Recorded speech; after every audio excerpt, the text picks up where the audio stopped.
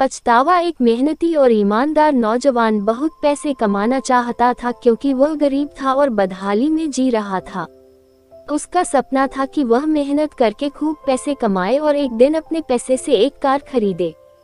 जब भी वह कोई कार देखता तो उसे अपनी कार खरीदने का मन करता। कुछ साल बाद उसकी अच्छी नौकरी लग गई। उसकी शादी भी हो गई और कुछ ही वर्षों में वह एक बेटे का पिता भी बन गया। सब कुछ ठीक चल रहा था मगर फिर भी उसे एक दुख सताता था कि उसके पास उसकी अपनी कार नहीं थी। धीरे धीरे उसने पैसे जोड़कर एक कार खरीद ली। कार खरीदने का उसका सपना पूरा हो चुका था और इससे वह बहुत खुश था।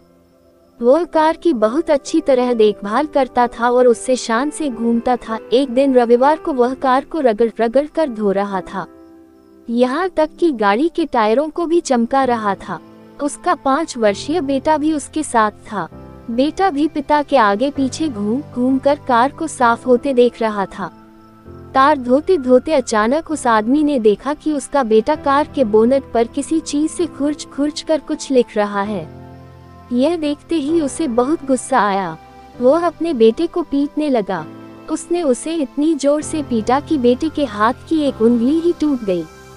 दरअसल वह आदमी अपनी कार को बहुत चाहता था और वह बेटे की इस शरारत को बर्दाश्त नहीं कर सका। बाद में जब उसका गुस्सा कुछ कम हुआ तो उसने सोचा कि जाकर देखूँ कि कार में कितनी खरोंच लगी है। कार के पास जाकर देखने पर उसके होश उड़ गए। उसे खुद पर बहुत गुस्सा आ रहा था। वह फूट फूट कर रोने लगा।